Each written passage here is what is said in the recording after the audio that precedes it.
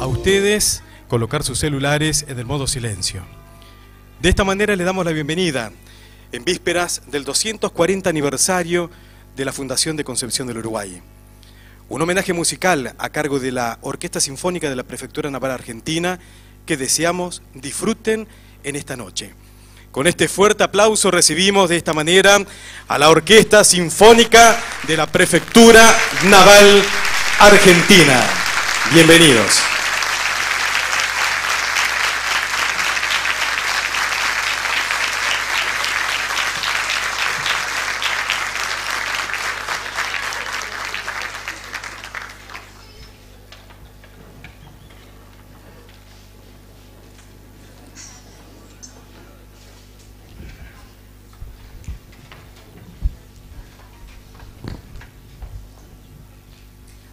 Noches, estimado público, bienvenidos.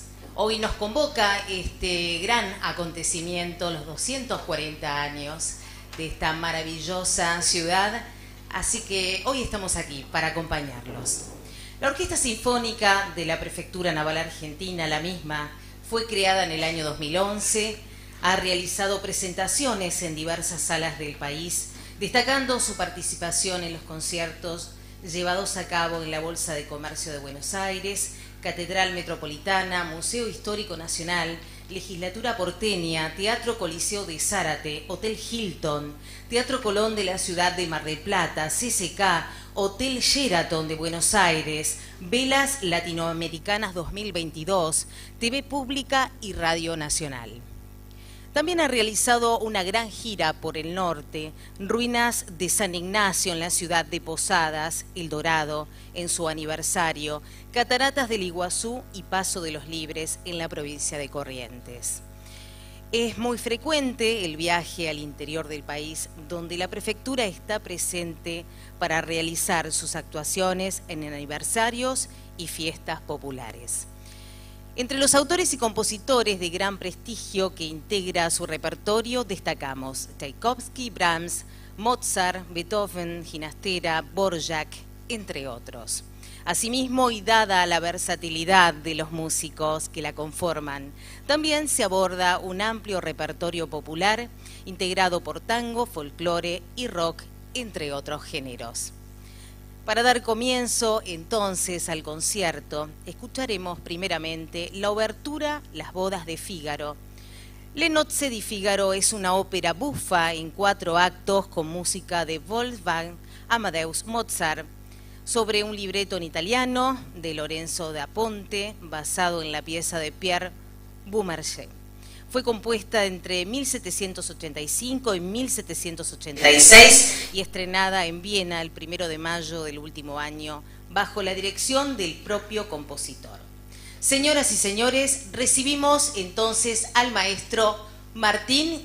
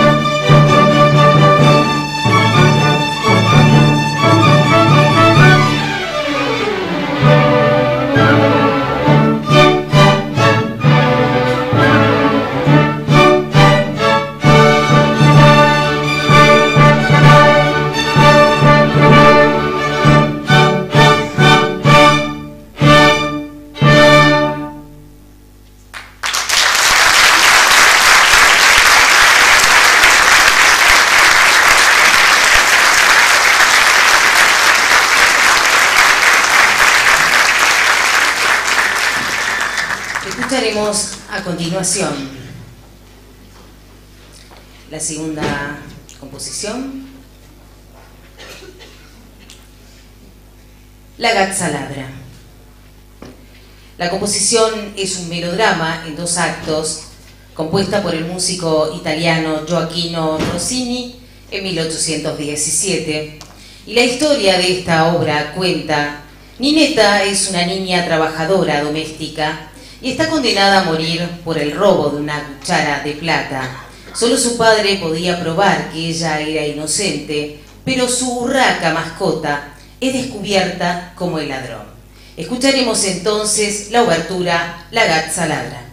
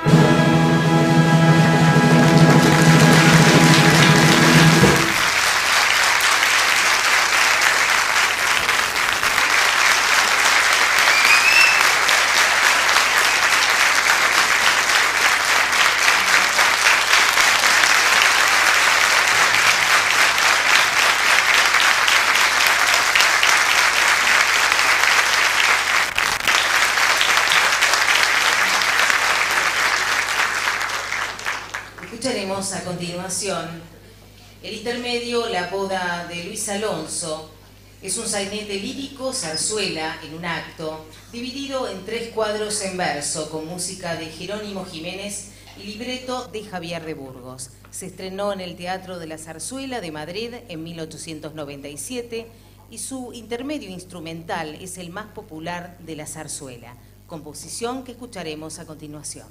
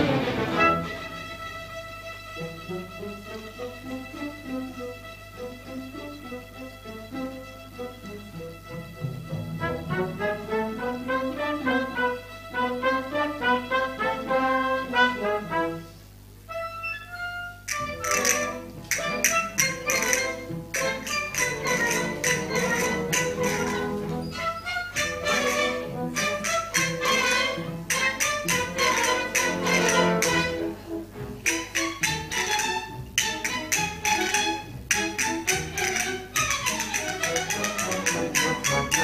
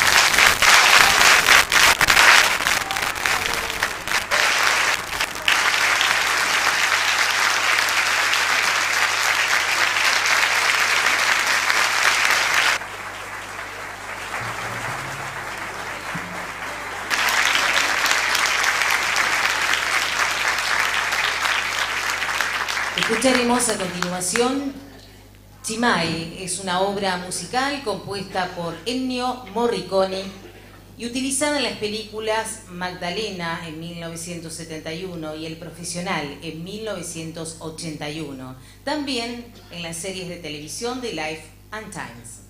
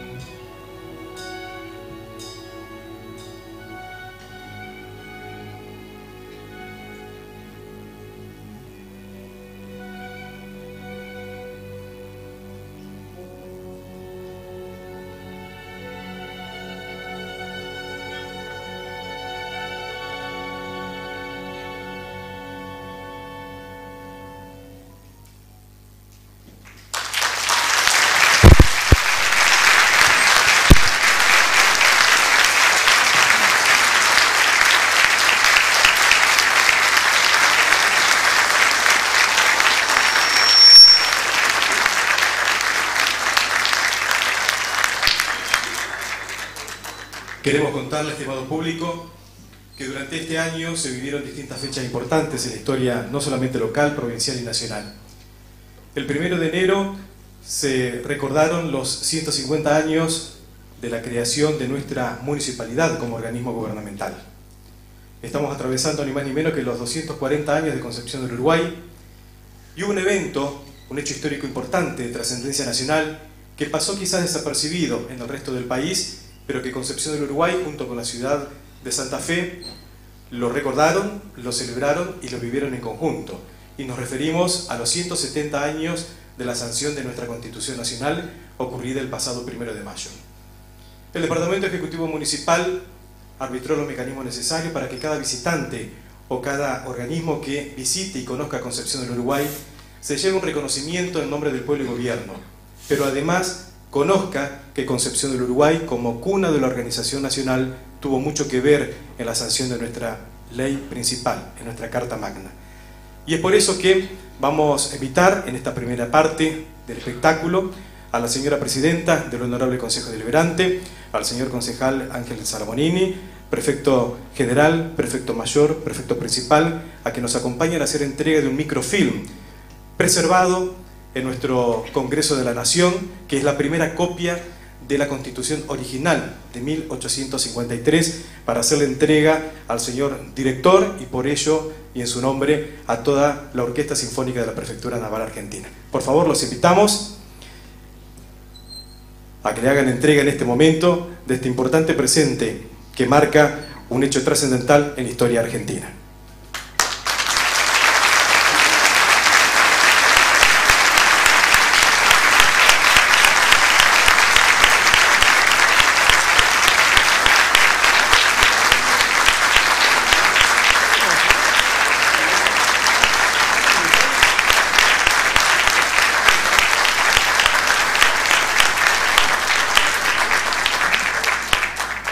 Muchas gracias. Los dejamos continuar con la segunda parte de este repertorio.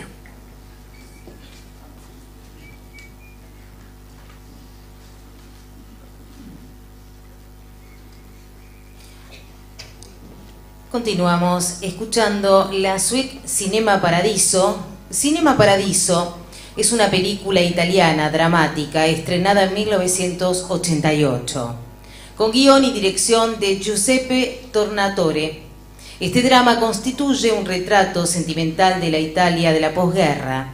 La música y banda sonora original de la película es de Ennio Morricone y su hijo Andrea Morricone, quien compuso el tema de amor.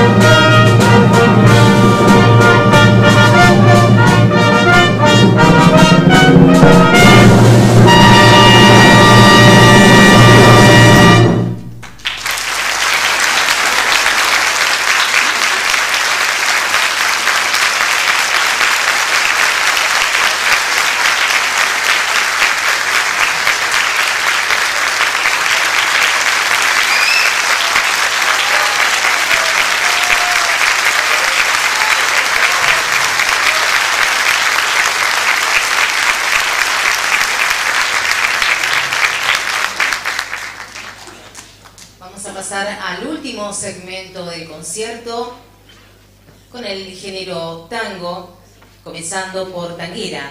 Tanguera es un tema instrumental en estilo de tango sinfónico compuesto por el músico argentino Mariano Mores en 1955. El músico lo grabó en Odeón el 30 de abril de 1957 y lo incluyó en su álbum Mariano Mores. Lo escuchamos.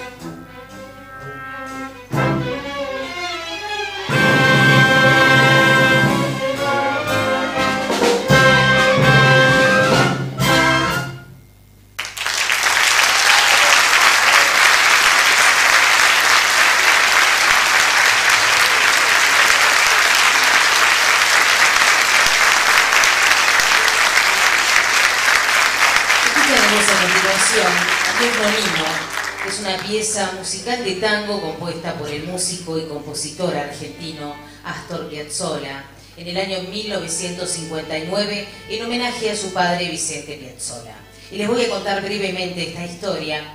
El músico se encontraba realizando una gira por Centroamérica cuando durante una presentación en Puerto Rico recibió la noticia de la muerte de su padre Vicente Piazzolla, apodado Nonino debido a un accidente. Esta noticia, sumada al fracaso de la gira, a los problemas económicos y a la nostalgia que le producía estar lejos de su país, llevó a Piazzolla a una depresión.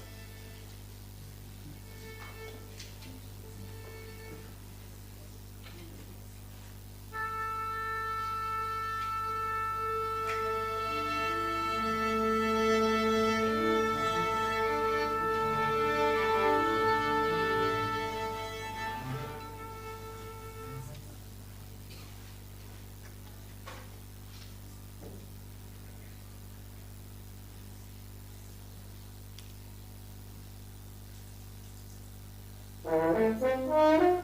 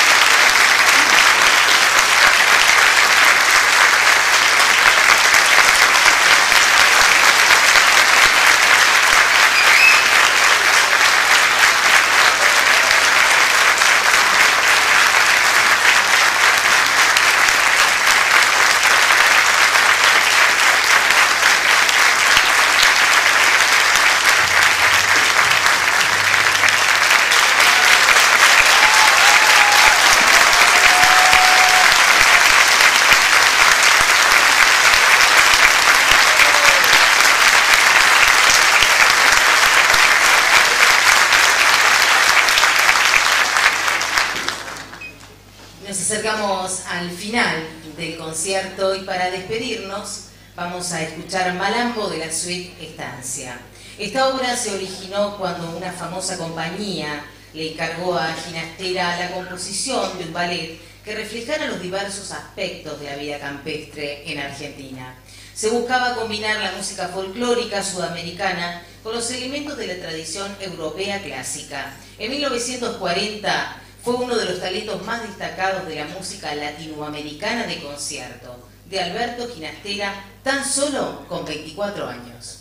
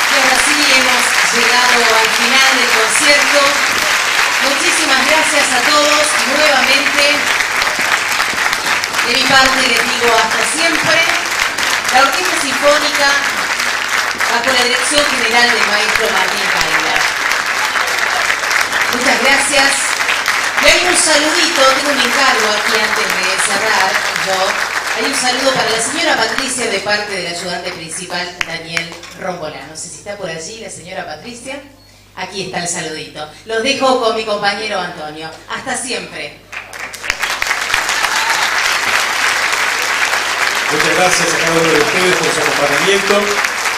La invitación para mañana a la hora 10 en Plaza Ramírez, acto y desfile cívico-militar y posteriormente desde las 13 horas en el multievento comenzarán los espectáculos musicales, 16 y 30 aproximadamente con la conga. Pueden ir con los sillones para aquellos que nos preguntaban antes de ingresar al auditorio, así que mañana disfrutaremos de nuestros 240 años de Concepción del Uruguay. Hasta entonces, en nombre del pueblo y gobierno de Concepción del Uruguay, muchas gracias y nos reencontramos mañana.